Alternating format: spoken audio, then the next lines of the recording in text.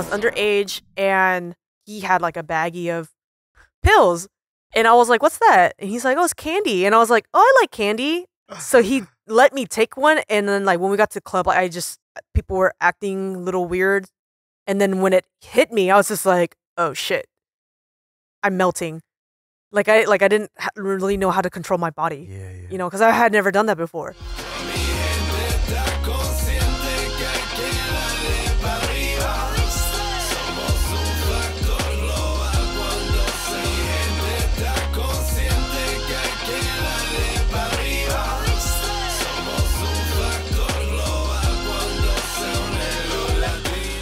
Welcome, welcome you and all to another episode of the Global Latin Factor podcast where we talk about Latino everything. I'm just gonna look at you, T. Uh, I already said the name. I don't even know which camera, but we're not gonna do it. We got a different setup at this time, so bear with me as I'm getting used to this. Today we have an amazing guest. Uh, again, this is the Global Latin Factor podcast. My name is Crispin Valentin. This is another exchanging culture episode. If you have not checked out the other episodes that we have, I suggest we, you, go check it out right now. We have today, and she might not agree with the introduction, but I think she deserves every single thing that I'm about to mention. She's a- an international DJ, entrepreneur that specializes in e-commerce, content creator, creator, financial professional. Uh, she's been DJing for over a decade, 14 years to be exact, or I don't know exactly the date, the birthday. She got here to the United States about a year and a half. She was about a year and a half years old, all the way from Vietnam. Did I get everything correct? Yeah. All right. Another exchanging cultures episode, so I can let Carlos do that graphics. Beep, beep, beep, beep, beep, beep. All right, how you doing today? Good. Um, this is a different uh, setup. I'm getting used to it because I'm accustomed to just sitting down and like, so that way people can tap in like the way the podcast is supposed to work. Okay. and they'll be all up in our business listening. So, all right, first we're gonna go ahead and start with a segment that I like to call Preguntas al Chile. If you have not subscribed to the channel, I don't know what you're waiting for. Subscribe to the channel right now, so you can check out the graphics. They're gonna be updated on our third year. I guarantee. I just gotta do a couple of things. Are you ready? Yeah. Tacos o tortas, Tacos, corn tortilla or flour tortilla. corn, all the way. All righty, gorditas or pupusas. Ooh, that's a hard one. I would say pupusas. pupusas, Yeah. they go hard. Mexican coca or jarrito. Do you know what those are? Yeah, Mexican coca. Yeah. Okay. Agua de horchata, the flavor waters, horchata, jamaica, or tamarindo. Do you know any of those? I don't drink any of them, but I do know them. Yeah? Probably um horchata out of all of them because I've I've had that the most. Yeah. Salsa verde, hot sauce, or salsa roja, red sauce. Green sauce or red sauce? It depends. It depends. Like if I'm eating tacos, I'll eat green sauce. Mm, But like everything else, I'll like do red sauce. yeah. Yeah. Fun fact about T that you already know, and uh, she's very familiar with these dishes because her second language, if I'm not mistaken, was Spanish for a long time. Yeah. Growing up. mhm. Growing up. Ah. Okay, I'm gonna try to say uh, menudo or pozole. Pozole.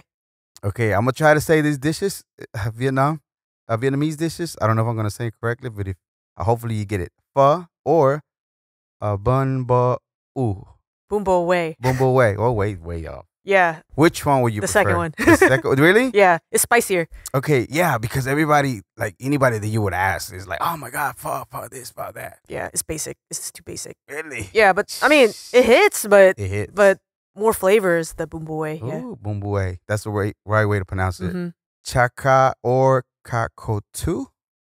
I don't know what you're talking about, bro. Okay, chaka or kakoto? Kakoto? Is that what it is? I'm gonna let you see? read it. Which one? Like right below the pho.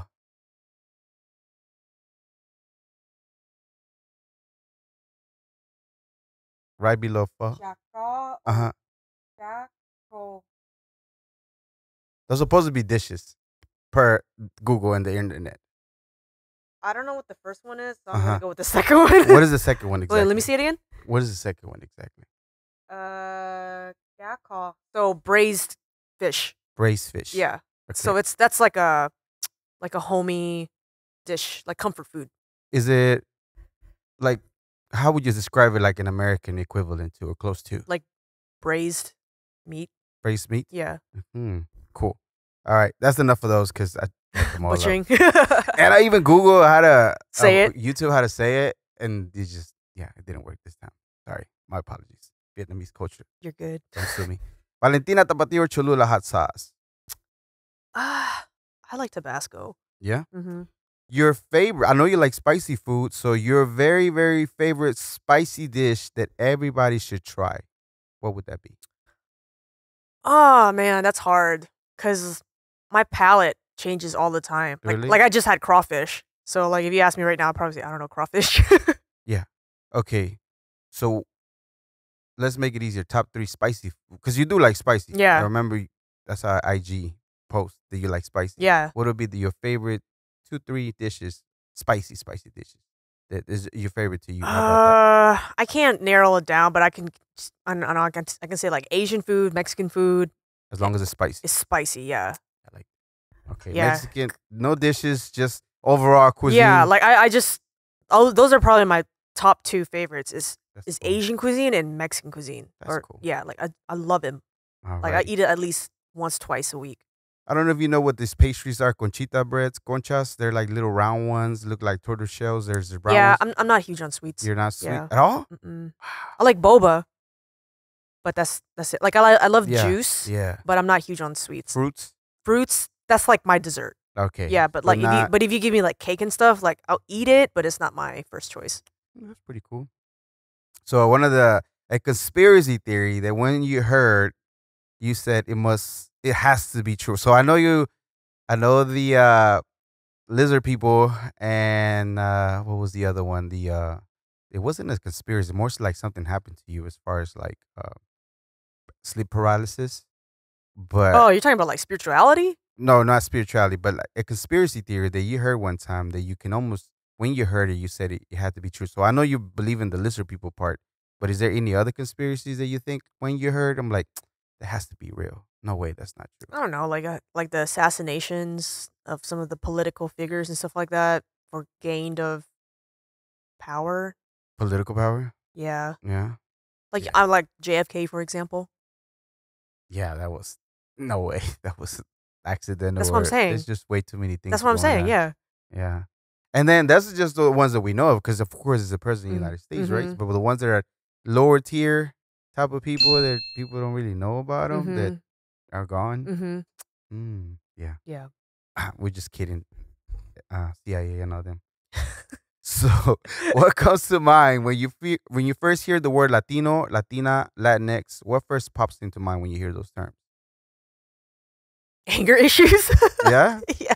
is that because of friends that you have? Was I, I I had a uh, an, an ex, the only ex that Mm, that just Latina? that was Latina that I ever Mhm. dated, and she had like mad anger issues. Like Why I- was she so mad? I don't know, I'll, I'll never date another Latina like, again Really? because of her. Yeah, She ruined it for you. yeah, man. Was it bad? Bad? It was that bad. like physically bad or Mhm. just screaming bad? like all of the above, Obsessive bad? Everything. all of the above. Yeah. She's it's not an excuse for us Latinos, but Mhm. we have a lot of drama, traumas, uh, traumas that we deal with that we haven't dealt with that we had coming up, mm-hmm. and it steers from generations prior to not Mhm. only her. Her grandparents probably went through some horrible things, and Mm-hmm. her parents didn't do any better and carried on to her. So I hope she finds healing, but not an excuse. But we have a lot of stuff that we still carry for g- generations that we still need to address. Right. So I don't doubt that she was mad and upset and everything else, but Hollywood doesn't help when they portray Latinas like that Mhm. because not every woman woman is like that. Mm-hmm. But when they do it like that and you run into somebody like that, it's really good to assume that all of them are like that. Right. But they're not. Right. I'm not saying give a Latina another shot, but I'm just saying maybe it's one off. right. Right. Okay, so all right, let tell me a little bit about. Well, of course, I know about you. I know your mom journey from Vietnam Mm-hmm. to. So, if my understanding correctly, Vietnam. If you're in Vietnam and you migrate into Vietnam, you first have to make it out of Vietnam to be able to even be sponsored or be or somebody can sponsor you to be able to make it to the United States. Is that somewhat how it happened to y'all? Uh, like somebody from Vietnam? I think what happened was um, we got sponsored by I think my aunt. Correct. Uh, and then we had to be refugees in like Malaysia or Thailand or something like that. I, for- I forgot what country. I I I was only like Thailand. Was it Thailand? Yes, ma'am. Did you talk to her about it? Yeah. yeah. So it, it was one of those countries where I think we were refugees for like a week or so, or I don't know how long, and then we ended up in California. Yeah. Uh huh. Actually, now that you said Malaysia, it might have been, but I think she said it was Thailand. Uh, you stayed there for a bit. Uh, unfortunately, your dad was making plans to meet you, but uh, if y'all not, if I'm not mistaken, think he might have passed away. Y'all not 100 percent sure because even the family doesn't know about him. So hmm very sorry for your loss. The is does she t- ever tell you how she made it out uh, of Vietnam to just to get out? Because I know there's a weird journey that they have to go through, like very dangerous. Kind of sort of like Mexicans have to cross over the border. Um, yeah, like there was several like tries. Like her and my dad had tried to escape because it's like communist, you, You know. to escape, right? yeah, you had to escape, and they got caught like both times. So they like would spend time in like Vietnam prison and stuff like that. And then, um, that's actually how she met my dad. Was they both they both got caught and they went to jail together. Yeah. And then so they you know they ended up getting married, and he tried again, and that's you know that's when he got lost. And then uh, we actually got sponsored, so we didn't have to go through all that hardship because she had me. You know, she's not gonna Yeah. try to like immigrate illegally. You know, and you know something happens to me or something like that. Yeah, yeah. And I meant not just Mexicanos that crossed over the border, but other other immigrants Mhm. from South America that crossed over, not just us Mexicanos, somebody else. So don't get in, don't get uh your panties in a bunch if you hear me. It's like, oh, we're not only Mexicans. da, da, da, da." I'm just saying, calm down. I know, I know. Okay, all right. So, yeah, it's trippy to me. Um, when I realized what it takes from somebody from Vietnam out of communist to escape having to like talk about you know in the middle of the night be very quiet uh, there's people patrolling all the time Mhm. and you having to get out and make sure they don't catch you because they'll throw you in jail luckily they only threw her in jail because i heard worse like sometimes they just shoot you on the spot Yeah, that's crazy yeah. So like that's that's why I guess I'm, you know, very grateful and everything that she sacrificed for. Absolutely And it, it's just not her; it's the majority of the people back then too. You know. yeah So absolutely. we like as a as Asians too, we also have like generational trauma. yeah Yeah. okay so y'all make it to california Mhm. right um remind me again the area San Diego. So San Diego SD in the actual hood. Yeah, we're in the hood for some time. Uh, no, we were in a really nice area. nice. Yeah, we were in a really nice area, kind of near the San Diego Zoo. Yeah. Um, we stayed with like um my aunt and my uncles and my cousins and stuff like that. And then, uh, my mom was a single mom, so you know she she would go to school full time and and go to work full time, Wow. like, like just and also trying to learn a new language and stuff like that. You know, so like, Yeah. uh, she has a, also a brother who lived in the hood. So they would Ah. kind of alternate babysitting me. So that's kind of how I, I learned Spanish was because his baby mama was Hispanic. Mm. So she would she would babysit me, and so when I started school, I was speaking like half Vietnamese, half Spanish. They actually threw me in ESL because I, I didn't speak really good English. If you don't know what ESL is, English as a second language, I had to go to ESL too. Did you? Yeah. I had to go for a couple of years. So, how many years did you eh, do ESL for? I think just a year. Yeah. Yeah. Then you started getting English. And Yeah. it? So no English whatsoever when you went to school, or very minimal. I- like minimal. Because I mean, at home, it's like they speak Vietnamese or Spanish. Yeah. If, I, if if I'm with my uncle, then his baby mom would speak Spanish to me. Yeah. You know, because she she didn't speak English either. Yeah. How would you say what your childhood was for you? Uh, what is one- some of the most memorable things that you remember growing up? I mean, uh, you grew up in a nice area uh, with a Mexican uh, or Hispanic lady that spoke Spanish, but then of course you also have Vietnamese. What are the some of the memories that bring happiness to you when you go back and trace back, like how how you grew up? Uh, I mean, I I was a '90s kid. You know, like back Mhm. then, we we didn't we weren't like iPhone kids. You know, like we like the internet was barely popping up. So like me and my cousins, we would just you know go hang out outside, Yeah, play outside. Like I don't know, walk around the neighborhood, go to the nearby park, like uh, Balboa Park, which is really massive, really famous in San Diego. Nice. It was like walking distance within our our neighborhood. So we we would you know go there over there as kids, really. Uh-huh. Yeah. Your mom talks great about you as far as you being a great kid. However, you and I have something very in common. Uh, apparently, even though now she's your best friend, I think you might have ran away a few times from the house. Did you run away? Did I? No. Yeah. I think she said she mentioned that. Yeah, I got into something and you ran away. I actually ran away a few times. I don't. I don't. house. I don't remember running away. Yeah? Okay. Maybe she. Oh, what she said that. Maybe she was like, but yeah, I think she said that. But maybe no, not. I didn't run away. Yeah. Anyways, scratch that. You were a good kid overall. But you you wanted to be a doctor, or you wanted to. I don't know where you picked it up from. That you want to be a doctor. Do you remember that? yeah. So I had always known since I was six that I wanted to be a doctor. Mm. Um, and it wasn't like you know the the traditional Asian parent wanting you to be a doctor or like an engineer or like anything or like Talk to me when you doctor. I actually just wanted to be a doctor because Where did you pick it up from? I don't remember. I just remember as early as as six. I think like someone gifted me that game Operation, Mm. Yeah. and I thought it was so cool. Yeah. Um, and I've always I've always kind of been like a biology nerd. Yeah. and like I don't know, just from there. So you go actually attempt to be a doctor, but something happens that just is not it's not for you anymore. What happened?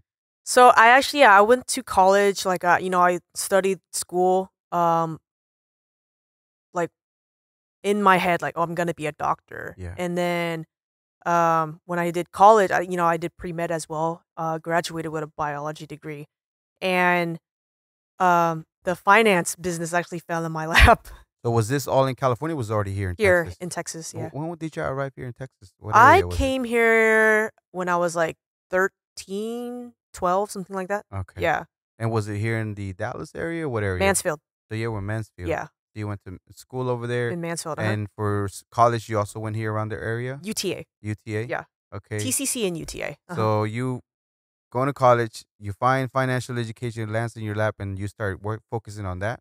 Are you partying at that time already, or not necessarily? right, yeah. So I, when I first started college, I was really sheltered growing up because, Mhm. uh, you know, in Asian traditional household, if you're like the only girl, they're gonna be like super strict. My mom was really strict when I was growing up, and then uh, so I didn't, I didn't ever like really go out and party or anything. So when I entered college, I started making more friends, and I didn't even. It's funny because I didn't even hang out with Asians back then. I like was super whitewashed in high school. this is like Mansfield, Mansfield, yeah, yeah. Mansfield. You know, so when I went to UTA or TCC, it was like I saw a lot more Asian people, and so it was it was kind of cool to like um, culturally connect. yeah. And then you know, Asians we party. When you say you party, like how hard do y'all party, and do y'all really drink a lot, of, a lot, or just in general, just Okay, so my first time ever going out to a club, um, I was underage. I was underage, and my it was like my older friends. Mhm. So I like was just joking around, and I was like, "Hey, you're gonna buy me drinks, right?" And he's like, "Yeah, I'll get you water and orange juice." And at the time, I didn't get that reference because I was like, "What are you talking about?" You know. And the club that we were going to wasn't a like a traditional club. It was Lizard Lounge. We were going to a rave. A rave. So I, you know, I was such a like a newbie to the party scene. I didn't know, no rave culture or anything like drugs or anything like that. And then he had like a baggie of pills, and I was like, "What's that?" And he's like, "Oh, it's candy." And I was like, "Oh, I like candy." Are you serious? Yeah. So he let me take one, and then like when we got to the club, like, I just like that was the first time I ever like took ecstasy. So when I say we party, we party. That kind of party. Yeah. So like that was my first time ever like in a club. So What do you remember about that time for the first time you tried some? You know, it, it, it was literally out of like innocence, a little bit of Mhm. ignorance because you were sheltered. very naive back Very then. naive. Yeah, very naive. But they give it to you. When did they click on you that it's not candy? Um, I mean, when you, I don't know if you've ever been to Lizard Lounge. I mean, Yeah. it's closed now. Years ago, yeah, yes. yeah, it's closed now. But Two floors, right? yeah, yeah. um, we went, we went for this DJ name. His name is Darude Sandstorm. Yeah. Oh, that's him? Yeah, The Sandstorm song guy? yeah, Tickety-tickety, tickety-tickety. Put it in, Carlos. yeah. So, uh, was this was it Sandstorm? I don't know. it was, I think it was Darude. Yeah. But he, I don't know, just the whole environment was was different, and then uh, people were acting a little weird, and then when it hit me, I was just like, oh shit, I'm melting. Like I like I didn't ha- really know how to control my body, Yeah, yeah. you know, because I had never done that before. I heard I never done or indulged, but I heard your your senses simplify a lot whenever yeah, you're like in it. like a like a hundred times. times. and and like I like like uh and back then it's like uh we call it pokeballs, so they're like the real OG like ta- ecstasy tabs. Mm. But mine was like a triple stack, so it's like three pills in one. So it was like extremely strong, For your first time too. and I didn't know. Yeah, so I didn't I didn't know there's like stages of when you're on the drug. So like you There's know when it, down. yeah There's a come down. so when it peaks, it like really it's like a roller coaster, right? So when it goes up, you're like really peaking, like really like it hits you hard. And that's where I was like melting and I was like I can't move my legs basically. And then so it, it's like a roller coaster so it kind of go went away so the it wasn't hitting as hard. So my mistake was I told my friend I was like I think it's going away and he's like it's going away. So he gives me another Are one. you serious? Yeah, so that that was that that sucked cuz the come down like really really sucked. You can't expect him to run around all day. Wow. Mhm. Okay, first of all, uh, we could, we don't uh say no to drugs. Yeah. That's just what happened. That's At just what that one happened. time of yeah. her experience? Yeah. okay, so no alcohol whatsoever, but y'all party until every at two o'clock, right? Because here in Texas or the Dallas area, we no, we like that night they took me to an after party too, so I didn't get home till like eight a.m. What did you? So and mo- when I when I came home, my dad was like looking at because he was like outside watering the yard, and he was like, "Are you drunk? Like, why are you home so late or something like that?" And I was like still rolling so you're you went you were actually still staying with your parents and at you the time in college. Uh huh. Wow. And then your what did your mom say? Um, she was pissed. She's pissed because, like I, like I said, like I was in a really sheltered household, and I wasn't like before then, like I wasn't allowed to be out past like 10 p.m. So how old were you at that time? 18, 19? Yeah. Yeah. Uh huh. Okay. So you find out you want to do the studying doctor, but then you find financial education. But all those people around there were doing some similar things, partying in the financial industry, or not yet? No, so um, that came later actually. So I that was, that was my first time actually just going out, Nice. and then I I developed like a like a like a crew. You know, I start I start partying more and more every weekend, and um, it got to the point where like my mom she couldn't really say anything to me because I was just going out so much now. Yeah, and um, I you know I I was building up my DJing career as well, and Okay. and my nightlife eh, like career and stuff like that because I was also st- I started to promote as well. So in 2010, Mm-hmm. the are you already fully into the the actual promotion crew yet, or not? I want to say by the the following year, the year after that. Okay. It's kind of so long ago. All right. Yeah. It's been a minute. So 2010 technically is when you begin actually DJing, DJing, right? So Mhm. the story goes one of the promoters notices that you're and your whole crew roll deep, 15, 20 deep into the club. So Mhm. of course they like that because, you know, it's they- people. They, it's people. Yeah. They want to have the club. And uh but previously before you already been hanging around with the DJs. Was there Mm-hmm. anything that while you were in the DJ booth ch- chilling with the DJs that kind of sparked your curiosity about DJing at all whatsoever at the time? Because the promoter asked you, "How can I get you to work with me?" Mhm. And you said, "I want to be a DJ," because he offered cock- cocktail waitresses or whatever, but you declined and you said, "I want to DJ." Mhm. Was there anything prior to before you even accepted or saying I want to be a DJ that you saw in the DJ booth that might inspire you to want to pursue DJing? Um, I mean, I've always loved music. You know, music has, has just been the best kind of therapy for me. Yeah. And every time like I would just hang out in the DJ booth, I would actually watch like my friends like DJ and I just thought it was so interesting. And I would, you know, um like kind of want to like like they would ask me like, "Oh, do you want to try?" And I'll be like, "Oh, like," but obviously they would be right behind me, make sure it doesn't like you know mess up or Yeah, anything yeah, like yeah. that. You know, so after I got a, like a, a little taste of that, I was like, "Oh, I really want to like try more," you know. But I didn't have any of like my own equipment. The only time that I would actually you know quote unquote practice was when I was there in the clubs with my Yeah. friends, and they would let me like play a song with the assistants Okay. like being right behind me. So at that time, is your ear already trained as to what you're hearing for, as far as the transitions, how you're gonna be transitioning at the time? It doesn't even make sense at that Nope. moment. 2010, he gives you the promoter says, "Fine, you're gonna do it." Wednesday, you start your DJing. hmm You don't have no equipment. Nope. Your friends let you borrow their equipment, DJ friends. What is it like to? First of all, when he says, "Okay, let's do it Wednesday," I like, are you really let's do it, or you're like hesitating? We're like, well, I need to practice a little bit because I don't really know. Probably how to both, but it was it was kind of one of those opportunities where it's like, well, I can't really pussy out now, you know? Yeah. So you jump in it. All right, put me that day. How is it? How does your day work? You get there about what time? Probably eight, nine o'clock. no, Later, 10, you get there about ten, 10, yeah. and everything's set up for you. You have to set Mhm. up everything up. no, okay. I, I was You're you're a diva. I was a diva, yeah. So you get there. You're somebody. I'm guessing is playing something already. Yeah. Prior to your friends. hmm So you start getting into it, and once you're there, are they pretty much coaching you through what to do? I, I mean, yeah, it's it's it's basically like he lined up the song and he's like, just play this next song, and I was like, okay, but I wasn't familiar with his music. As a DJ, you need to be familiar with the you know the music so you know when the transition is and all that stuff. Right. And I was just like, I don't know this song, so I just tried to like transition into it, and it was just like not happening.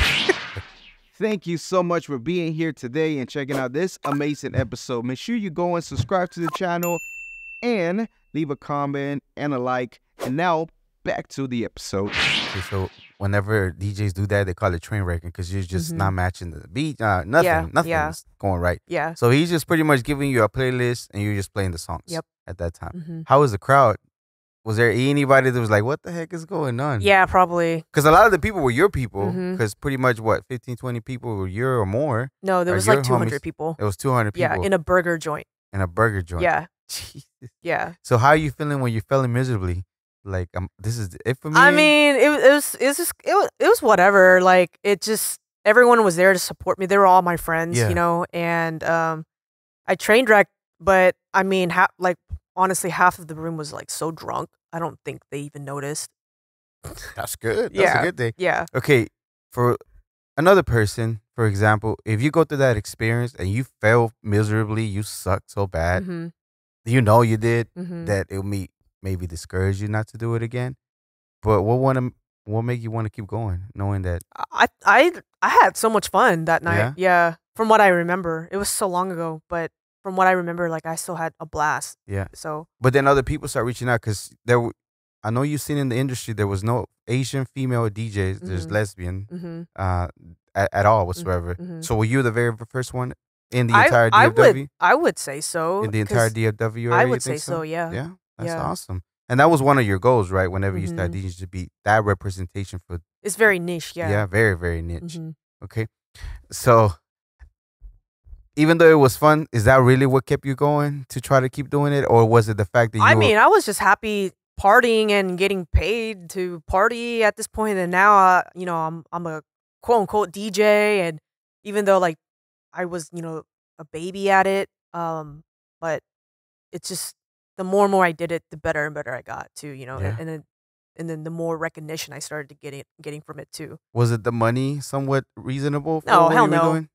It was like a hundred dollars a night, bro. It was it wasn't the money. What about your guest list at all? Any any money on that e- either? Because you know, Uh, usually promoters work out a guest list and per person. to me, I think at the time it wasn't even about the money. It was just having fun, yeah. having fun and being in an environment. There's something about being in the DJ booth that makes you feel more cool than everybody else that can't get in the DJ where you're just chilling and just. I mean, that was part of the, another reason because I didn't want to be out in the crowd with the peasants. True that.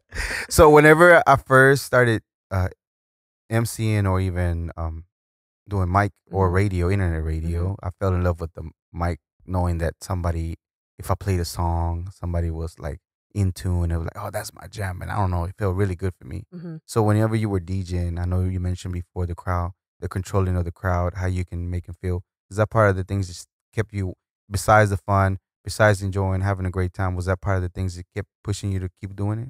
Yeah. Um, like the better that I got, especially the music back then, it was Mhm. actually music that I actually enjoyed listening to. Um, I would say like rap music now is, is not as good.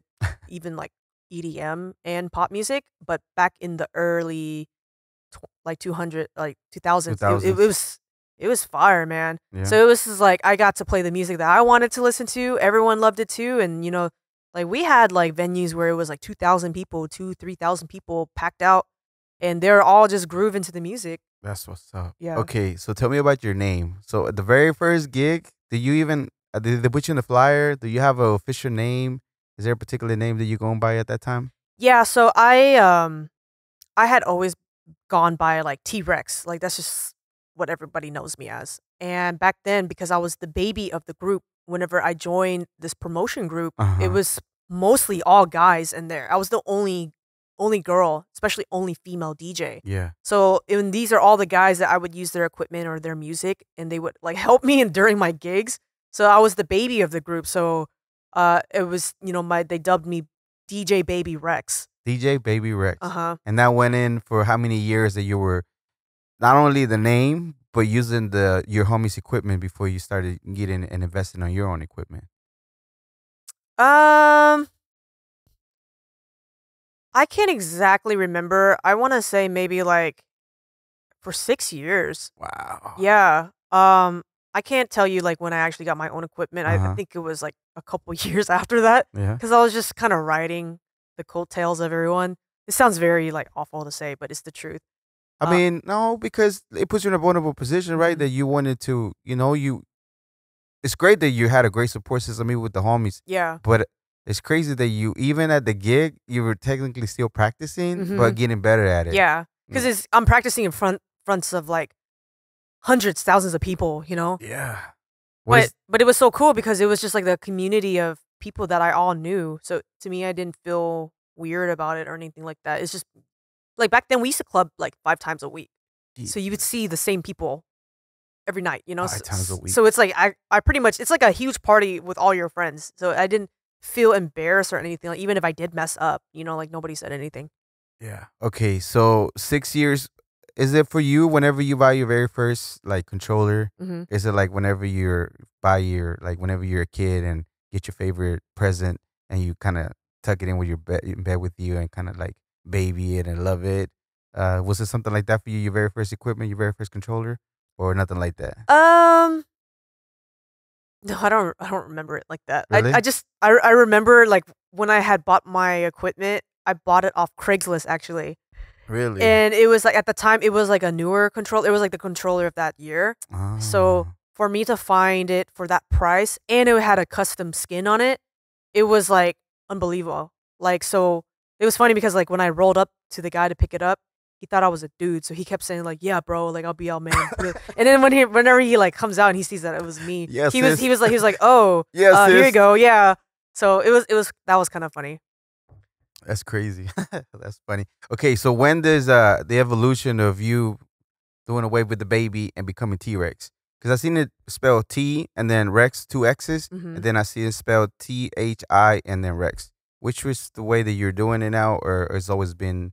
Oh, it's just it is T Rex. It's just the way that you do it on social media is different. Um, I think, I think it was like more like a like the name wasn't available issue. Mm. Like, so I rebranded myself, and I was uh kind of going through like different marketing techniques and stuff like that, and so it went from Baby Rex to T Rex with without the H.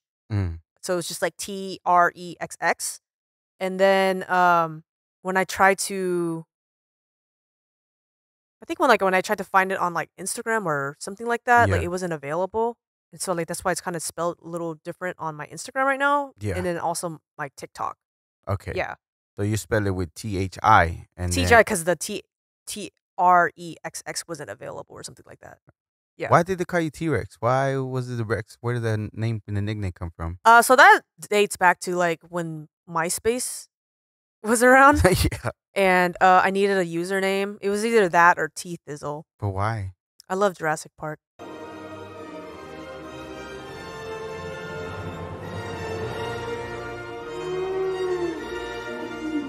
So that's why. Yeah, Jurassic Park is one of my favorite. I was gonna say you don't have little arms. No. You don't have like no. small arms to be able to. So you like T Rexes, and that's Mhm. pretty cool. I always back in the days I used to post all those memes about the T Rexes with them little with the arms. Yeah, I have a bunch of them still. yeah. I'm gonna send them to you because there's a bunch of them. Okay, so you continue maneuvering. You're learning now. You're in the game for about six years. You got your own equipment. And when does the international DJing comes to be? You're still with that crew for some time, and I don't know if they lead you to become international and start traveling around the world, or how does that come about? Um, at this point, it was like 2016, Mm-hmm. 2017, and by this time, like I had already DJ'd all over Dallas. I've done festivals, um, you know, big corporate events and stuff like that. So like the next thing on my bucket was like DJing overseas, because at that Yeah. point, like I had I started traveling a lot, and I was like, oh, it'd be really cool to to DJ overseas, you know, and um, just because like at that time I was getting bigger in in the you know DJ scene and the you know the nightlife industry, Nice. I I was already traveling overseas, so I was talking to you know my my business partner at the time, Mhm. and I was just like, how could I like DJ overseas? Like, who do you know anyone that I could like reach out to? And it, to me, it's like all about connections, you know. So he actually knew someone over overseas, and then like that kind of just like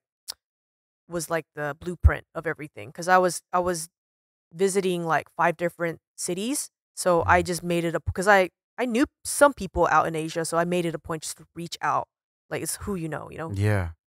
So you let them know you're a DJ. You're looking forward to seeing that. And are, are all these trips and everything else getting funded by the DJing at that time? Uh, so because I was already going there, how I kind of pitched myself overseas was like, hey, you know, I I already have airfare and hotel, and that's like the biggest cost, Mm-hmm. you know. So I was like, you just need to pay me for my set. So it was just like extra spending money over there, which is nice.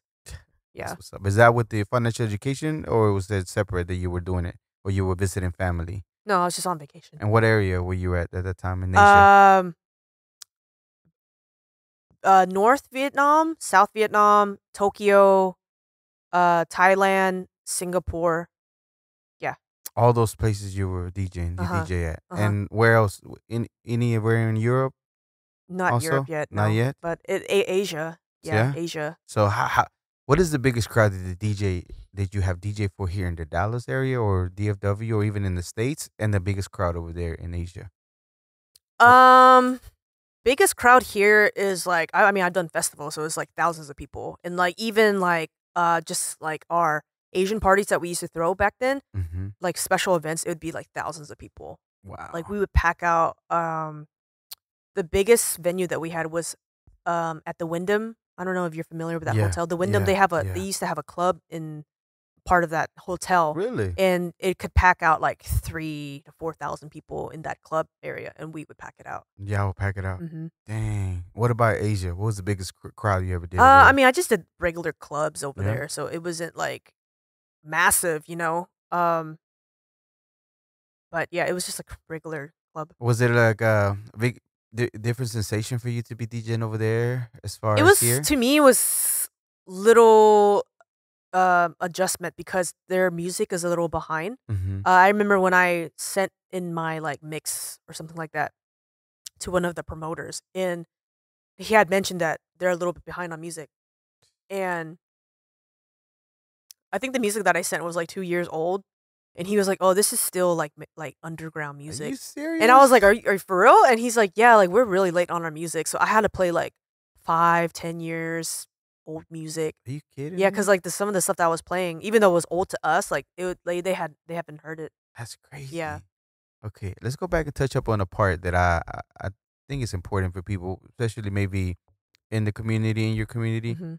um, the Vietnamese community or somebody that's. So you were the first lesbian DJ Mhm. female here. Mhm. Okay, for me, like Mexicano, uh, things that I seen on TV. Whenever I think of somebody that's Asian or from the Asian community, from very uh, traditional, very um, kind of sort of like conservative Mm-hmm.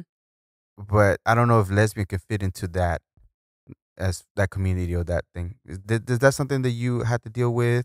Did you had any kind of you know backlash or name calling or whatever the case might be? When I became a DJ, when I became a DJ, when you came out, they knew that you were lesbian. yeah. So I, you know, I've always kind of like march to the beat of my own drum. Right. Um, I, I I believe like being authentic to yourself is is really important. Right. Um, I can't stand being fake. You know. Right. Um, so I've always just been really true to myself, and to me, that was like the hook for everyone because not only was I a, a like a Asian female DJ, but I was also a lesbian as well. So it was like I didn't get any backlash from that, and sometimes I feel like it's almost like a double standard because I feel like if Mm. it was somebody else, they might have, you know. So I don't know. So no problem booking whatsoever. You it Mhm. actually made them want to book even more, Right. Because you, for whatever reason, Right. that was something attractive to Mhm. them. Okay, what about at home and your mom and everybody else? Is this anything like that that they're frowned upon because you're this, because you're that? Uh, thankfully, like my parents are very understanding and Yeah. and um welcoming. Um, I actually didn't want to come out to my parents because I thought that like my parents would disown me. My mom actually made me come out. She kind of already knew, right? She, like, okay, so like I had like my first girlfriend, Mm-hmm. and me and my first girlfriend broke up, so I was like super heartbroken, and um, I was like really like on the DL, like, oh, I don't want anyone to know. I don't, especially I don't want my parents to know, like any, Right. anything like that, right? But my mom, like, I mean, mother's intuition, you know, so she Mhm. was just like, you know, just like it's okay, like it's a phase, and I was like, uh, No, I was like, I don't know, still gay, mom. to this day, Till mom. this day, still gay, mom. Okay, so I heard something about on a in the same subject. I heard Mhm. something on a on a interview that you talked about that you know dating for you is very interesting nowadays. Mhm. You date very seriously with intentions. You Mhm. don't try to waste nobody's time, hmm and you want a family. hmm How is that for you? When you talk about that, you're talking about as you having a, ba- a baby or adoption or the person your partner having a baby. Yeah, so I That's just ignorance on my part and No, it's okay. Yeah, sure. It's um I I really want kids in a really unconventional way, I guess. Yeah. Um I myself, I don't want to carry. I do want my own biological kids though. Mhm. Cuz just because I just like uh I do self I suffer from like body dysmorphia. Like I actually thought I was going to be transgender growing up. So Really? yeah, so it w- it was like a something that I had to deal growing up with, and then figuring out like just like in general navigating my sexual my sexuality growing up was Yeah. really confusing and really like mentally draining, and then um to accept myself as like just being being queer, you know, because like I grew up in a really religious Baptist household, Yeah. so I you know I didn't want to be condemned to hell. You know, I didn't want, and then you know, of course, everyone wants to be, fit into society as well. You know, like if if if I could be straight and be normal and in the normal standard of societal perception, you know, like why would you want to go against the grain? You know, but it's just it's just who I am. So I myself, like, even though I, I still struggle with like body dysmorphia and, and stuff like that. So I I don't think I could mentally handle bearing children myself.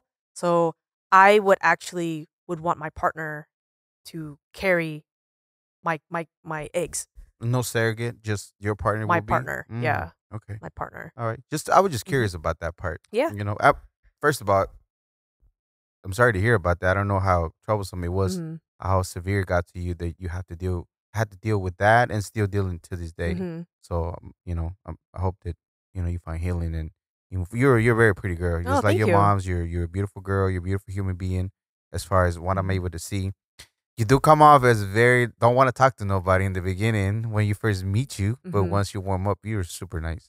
Uh, Awesome, Yeah, I- amazing. I girl. I like to observe people. Um, I don't know. I, I guess I've just always kind of been like that.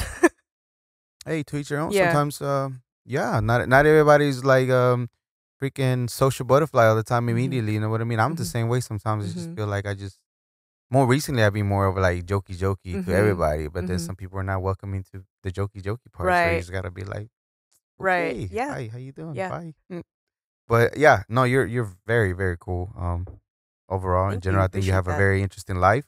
Um, and then again, just the physical part in general, you look you look great. So doing the transition of the DJing, kind of sort of within that, you become somewhat of a restaurant owner with the Mhm. management ag- agreement or management understanding as well, right? Right. Yeah. So, uh, the same guy that I was working with in the club industry. Yeah. Um, you know, we wanted to just be bigger. Like I, I've always had big dreams. Right. You know, and that's something that's really important to me. And that's to me like also when it comes to dating, it's like I can't be with someone who doesn't dream as big as me. Yeah. You know, I need them to meet me there. So I always have like ideas or like how much how I can improve myself or like, you know, what what can I, you know, I don't know, just more. I just want more. Absolutely. Um, and so yeah, we got into the restaurant business, and um, I, you know, we were lucky that we didn't have to put down like any money and stuff like that, but we were Mhm. still able to be like partners in it. That's great. Um, so we had the first um, Asian fusion restaurant in Las Colinas that sold lobster pho. what? Yeah, so we had the most pho. expensive pho in DFW, but people from you know all over the metroplex still came out and and ate our pho. Um, it was a time that it was a little bit too unique for that time. I think if we would have done it now, it would have been more successful. But back then, it was just like it was like just the concept of it was just like too kind of far out there, and then just like owning a business like a brick and mortar is very difficult too. So it's a lot of overhead, Mhm. a lot of stuff that you have. our our restaurant was make it- huge. So Wow. yeah, and, and and it was in Las Colinas. What was the price point at the time for the uh, pho, the lobster pho? Was it way too crazy price? Or yeah, Thirty five. yeah. Thirty five dollars. Not bad if you have lobster. It, I mean, you had a whole pound lobster. Yeah. Where did the idea come to do that? Like who who came up with that? I, I mean, I to be honest, I I- I can't say that I ma- I came up with the idea. I think I just saw it on like Facebook one day. Like somebody else had it in Vegas, but they were charging like seventy five dollars. But you wanted to implement that, and that yeah, Yeah, too. yeah, That's cool. Yeah. So I, I kind of not stole the idea, but I was like, I was like, we don't have anything cool like that in Texas, you know. So when that opportunity kind of fell in my lap, I was like, hey, how come we don't do? We should do something like this. It's kind of different, you know. See, I don't understand sometimes because you're there. Somebody else is doing it somewhere else, and you there's a lack here. Mhm. Why wouldn't you want to do the same thing? Right. It's not like it's a rights of you the only Like, yeah, I didn't like steal his recipe or anything like that. yeah, you know? It was- It was, our own recipe, but your own recipe. but the concept was the same. Yes, you know, it's just like everything else though. Like DJing, it's all the same. Yeah. you know what I mean? It's the same thing. Mhm. DJing, artists, everything else. We get inspiration from a painting or whatever, and all of a sudden you just begin doing your Mhm, thing. So mhm, you know, just your own way, your own creation, Right. without intentions to you to stealing their idea, but Right. you making your own thing. You know. Absolutely. So, Uh huh. Is my collar up? Am I good? Yeah. Am I good? Oh, you gotta. Damn, Carlos never tells me about my collar. Don Carlos. All right. So at that time you did financial education for some time, but you also dive into e-commerce. How does that how does that work out? How do you find about e-commerce? And there's a particular particular thing that you do, private labeling, if not or what is Right. it called? Uh, yeah. So I like to work smarter, not harder. Mhm. I have a particular lifestyle that I want to attain. Uh, I'm not much of like a corporate person, like straight up nine to five. If you tell me that I had to be in office all day, I'd probably tell you to like go screw yourself. Did you try it?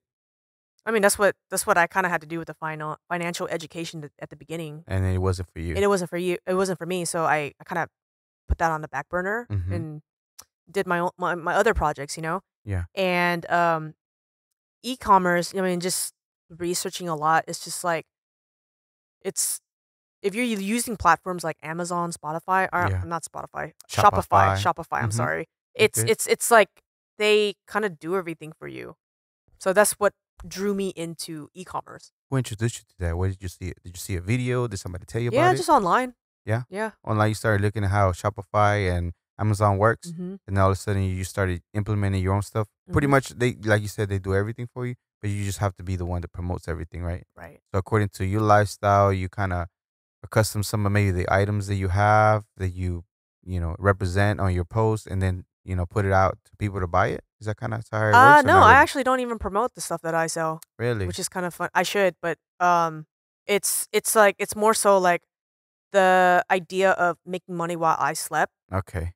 Really intrigued me, especially like with the Amazon platform. It's like they deal with the customer service, they deal with the shipping. I actually just have to buy the inventory, I ship it to their warehouse, and I slap my brand logo on my stuff, and it's it's my my brand, you know. Is there a licensing that you need for that particular or not nothing? Okay. And then okay, so I do print on demand Mhm. with Amazon. Mhm. So all the Global Latin Factor podcast shirts, they're gonna be posting here all over the place very soon, all Mhm. the time, because I haven't I slacked. They uh do everything for me too, Mhm. except for all I did is upload the the graphics, Mhm. and they do everything. So else. similar. Something the same thing. So yeah, similar. So with me, it's just uh, my own personal brand. Like so it's like if I sold coffee mugs, it would just have my logo on it, and that's my own brand. Really, Mhm. that's cool. And what is it called on uh, Shopify and Amazon? It's different brands. Yeah, I, I can't even tell you. I have I have a couple. And you sell everything, right? You yeah, it's from, it's like random stuff like baby blankets, like uh, electronics to like home stuff. Like it's just random stuff that makes sense data wise. and to get started on that, let's say for example, platform like Amazon. hmm do you have to like for example for print on demand i have to apply they have to approve me and once i'm approved then i can go ahead and begin is that similar to the same thing with e-commerce Uh, yes. Like the thing with e-commerce is you have it's with especially private label. mm-hmm. It's like you have to have a lot of liquidation up front. okay Yeah. So you do have to have some capital in the yeah, beginning it's it's a lot of capital in the beginning, Yeah. and I and it's not a little bit of capital. I want I want to say like five to ten thousand dollars. so five to ten thousand dollars to get you going so at Mhm. that time you saw everything you took a risk you had that capital and you put it into use to be able Mhm. to create your own My own and it brand. was yeah. and how when did you start it, it started making sense for you because i'm pretty sure it's still new for you i know you joined a bunch of groups uh, facebook groups is Mhm. that somewhat of what helped you to keep ramping up your brand and right. selling Yeah. So it's it's just to me like I always feel like it's really important to invest in yourself, Mhm. and if you have a business, obviously you need you need to invest in your business. You know. Right. So I I even hired like a like a like a coach, like a met like you know FBA, um, like mentor. fba Uh, I forgot what it stands for. It's FBA is uh where where you buy something Mhm. and then they do everything for you. FBM is uh let's say like they they buy something off your listing, you're the one that has to ship it in. Ah. Yeah. so fbm fba you don't have to worry about no, that you just ship yourself into the warehouse and then they handle everything. and I'm, I'm assuming because they do everything they took a little bit of a higher cut Right. than if yeah. you was to yeah, there's yourself. there's fees. There's like Yeah. storage fees, there's like uh like fees for that too. that's cool hmm So how, how lucrative is this for you to be able to do it like this? Does it keep you afloat? Does it keep you with the lifestyle that you like? Because if you see your Instagram, you're always looking nice, suits, hat, everything. You Mhm. know, you look, look great. It looks great. Uh, is that kind of sort of because of the lifestyle that you have created with this business? For how long have you done it for? Uh only like a year. Only like a year. hmm Wow. But this is what you do pretty much full time for the most part. Uh, I would. I mean, yeah, it, it's it sustains my lifestyle, and then also I still DJ on the side, and then now I'm back into financial um financial industry, so that's that's been taking up a lot of my time, but it's I feel like it's more fulfilling. That's great. Mhm. Okay. So right now in the DJing, so you're gonna continue to grow that e-commerce.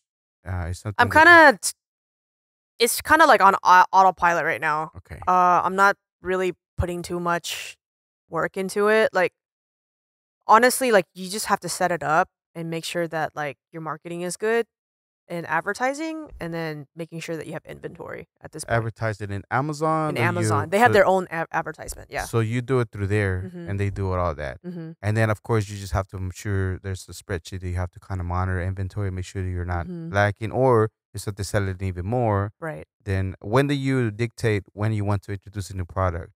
Do you kind of study the market a little bit and see, and then go yeah, like like right like I'll give you an example. Like one of my products right now, I'm just trying to liquidate it at at this point because it's not selling as great, but I still got to make my money back. So Mhm. you know maybe I'll drop the price or whatever like that, right? Just to make sure that it runs out of inventory, and then from there I'll just kind of look for another product to replace that. That's cool. hmm That's cool. Yeah. So is that that's the passive thing that you It's do, passive income. where uh-huh. you set it up once, Mhm. making sure everything's good, Mhm. and uh, within the promotion, everything, and making sure that it still right. works for you. Yeah. And you just gotta monitor it so often and get them checks in. Yeah. Okay. And then the DJing, uh, where are you DJing at the moment at this time?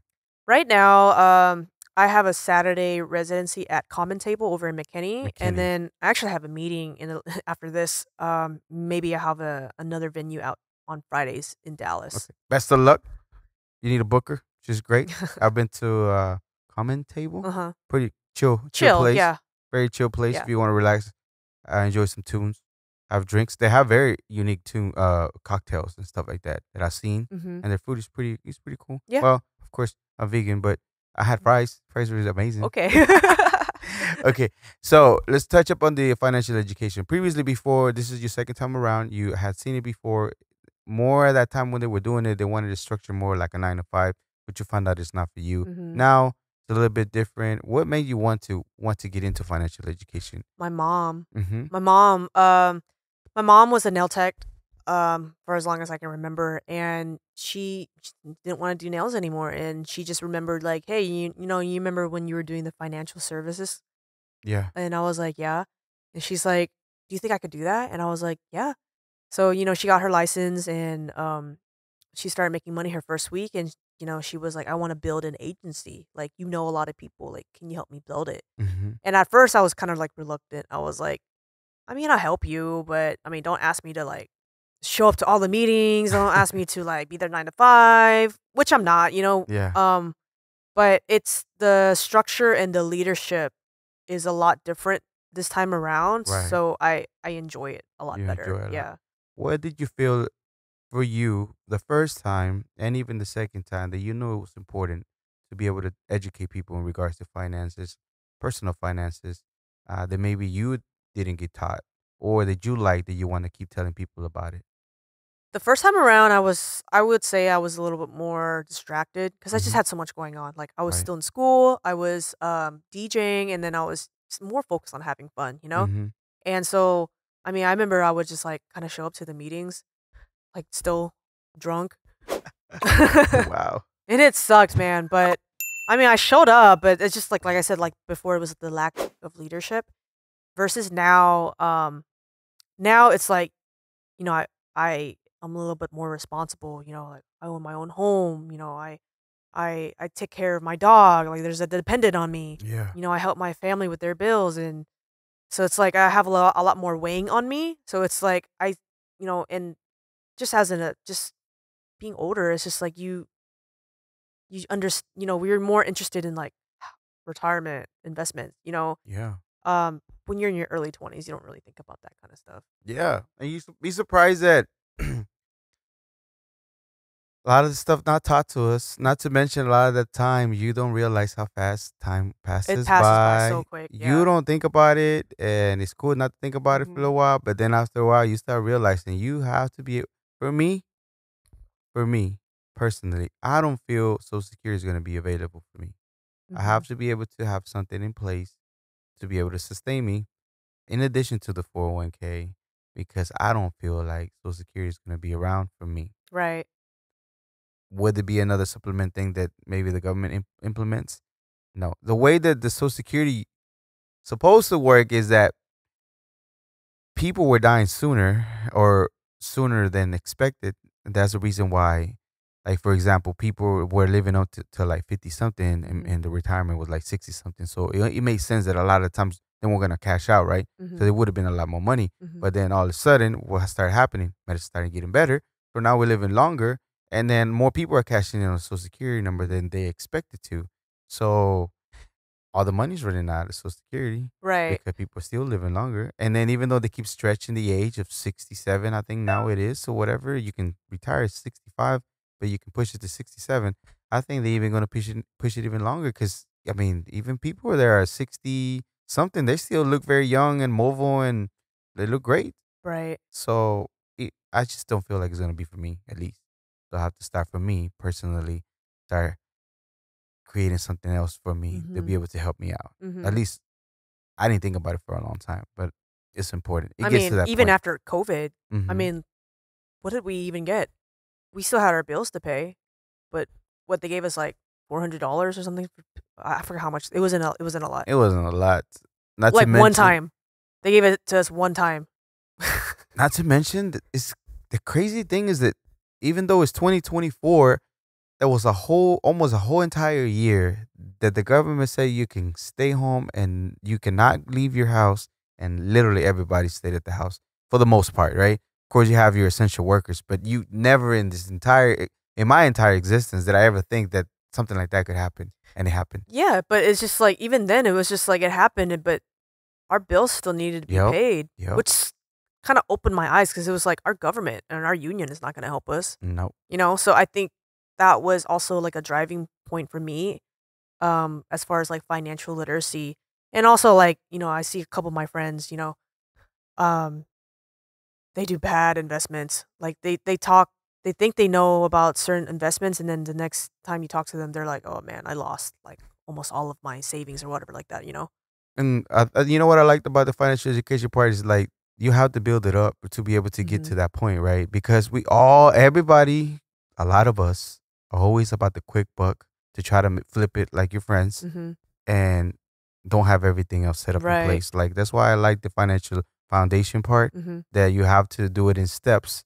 It's not overnight Mm-hmm. to be able to prepare you. right. You're getting prepared as you're learning and setting it up for you to be able to do something better for yourself in the future Mm-hmm. right. instead of hoping and wishing that you can invest this 10,000 here, whatever, and hope it flips into something better because you can only do it so long. right. And not to mention, it's never going to be always there. Mhm. Like the passive income's not going to be there for you. right. So Right. that's pretty cool. All right. What else did you have you impacted you as far as financial education for you personally that you learn more in addition to the things that you told me already? Um, like the fact that, I mean, I, I see some of my friends, like some of them have like, you know, you think that they're doing well. Like for instance, like I have this one friend, Mm-hmm. um, she would always post like her, her boyfriend or whatever, and they're living like a really nice life, like extravagant, In social media Yeah. or in real life?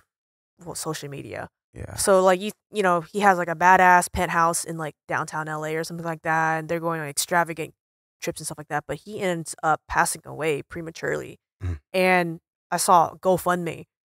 You know, so it's like uh it's like stuff like that, you know? Yeah. And then I've had some friends that are laid that were laid off and they didn't have enough like emergency fund and they were having to dip into like retirement plans and they don't sometimes people don't understand that when you do that you get penalized Yeah. but they don't teach you these things you know so i think that's also important Yeah. No, you're right. I mean, we all want to live. mm-hmm. We all want to live to the fullest and everything, but Mhm. unfortunately, it just doesn't happen that way sometimes for some of us. Unfortunately, some of our closest people, it's gonna, they're gonna, it's gonna be a thing of yeah life that happens.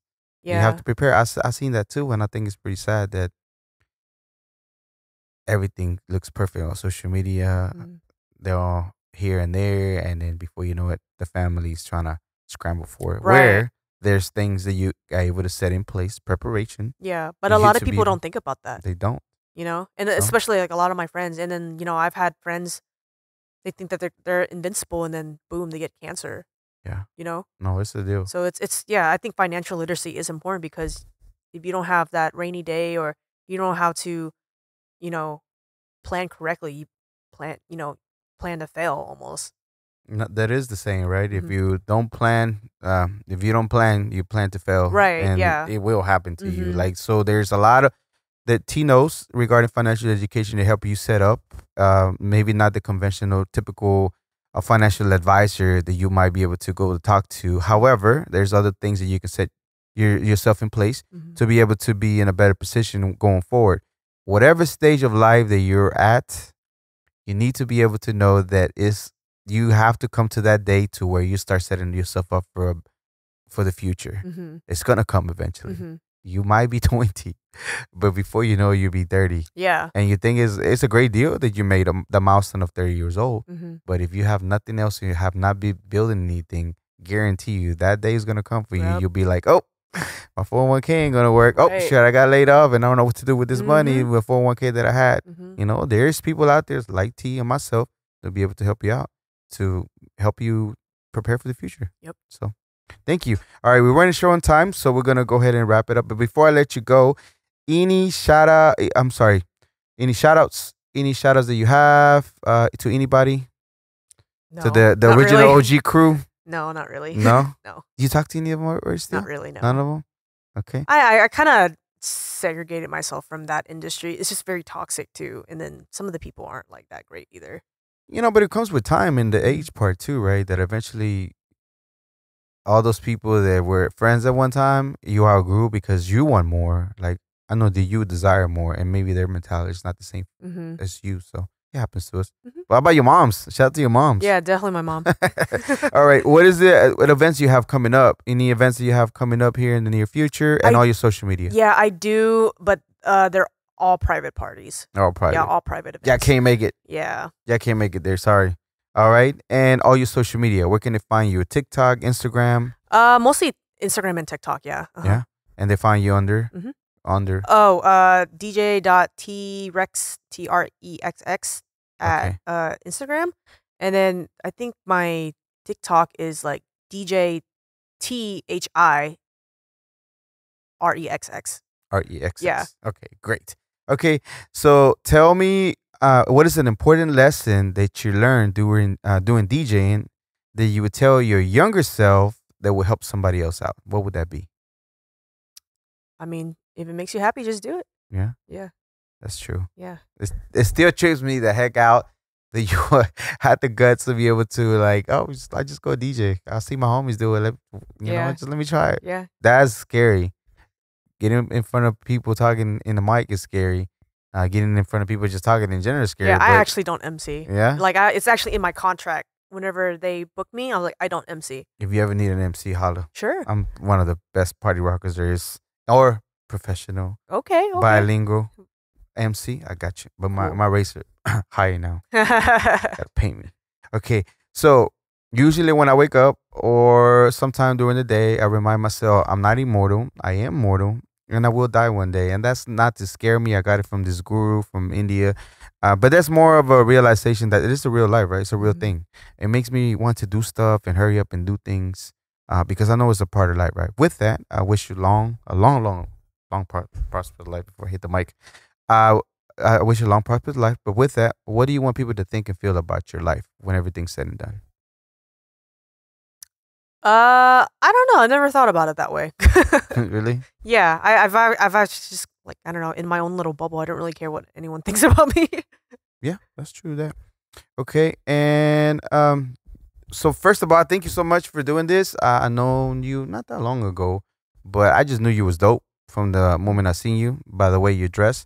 But not to mention just looking into your story, looking at the uh, like knowing about your mom and knowing the journey it Mhm. takes to for making somebody from Vietnam to here. hmm and it's crazy. It's crazy. Some of us from Mexico and South America do have a journey to carry, but living in a communist place to be able to like sneak your way out and hopefully you don't get killed on your way and just make it and then go through the long process sometimes of getting sponsored and making it over here Yep. all the way from the other side of the world. It's Mhm. crazy to me.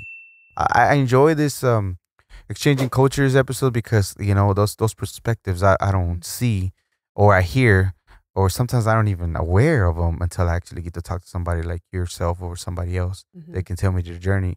Not to mention just you in general about clearing some stuff up for me about how the Asian community might. I, I feel like I, I know a little bit because I've seen TV or things like that, hmm but it's not it's not true. Right. And the fact that like 14 years in the game DJing, you know, Yeah. and just staying consistent with it and doing your thing. I think it's amazing. And without a doubt, DJ T-Rexx, you are an honorary Global Latin Factor. Thank you very much for being here. Thank you. Thank you. Absolutely. This was another episode of the Global Latin Factor podcast. Remember to subscribe. Don't play around. Don't play. We're already three years in. You gotta subscribe right now if you type it in. And remember, we are just like you. We are humans. We are the spice in this melting pot that it is the world. Till next time, bus, bus. I'm still getting used to this new layout. Salute. Thank you so much for being part of the community, checking out this amazing story and this amazing episode. Make sure you go and subscribe to the channel and check out the episodes that we already have prepared for you. Thank you very much. Until next time.